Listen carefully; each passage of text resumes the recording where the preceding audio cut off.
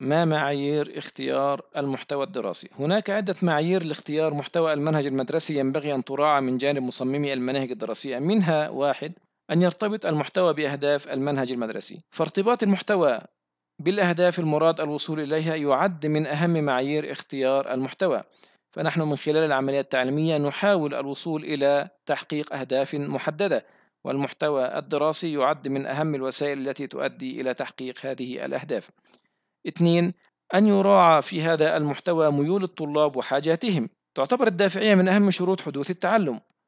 واختيار المحتوى في ضوء ميول الطلاب وحاجاتهم يؤدي إلى الدافع لديهم للإقبال على دراسة هذا المحتوى كما أنه ييسر لهم عملية التعلم. أما عدم مراعاة ميول الطلاب وحاجاتهم في اختيار المحتوى فإنه يؤدي إلى الإحباط لديهم. أيضا من معايير اختيار المحتوى أن يرتبط المحتوى بواقع الطلاب. ويعني هذا أن تكون المعارف والمعلومات المختارة تتماشى مع واقع حياة المتعلمين وتساعدهم على فهم الظواهر التي تحدث حولهم والمشكلات التي يمكن أن تنجم عن هذه الظواهر وكيفية مواجهتها.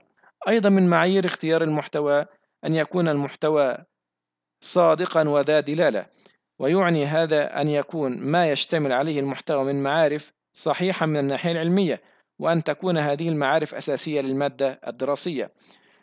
أيضا من معايير اختيار المحتوى أن يكون المحتوى مهما للمتعلم.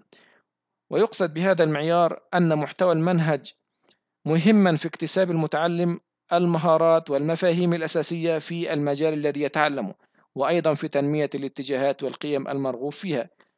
فأهمية أي محتوى دراسي إنما تقاس بمقدار ما يسهم هذا المحتوى في تحقيق أهداف مفيدة للمتعلم.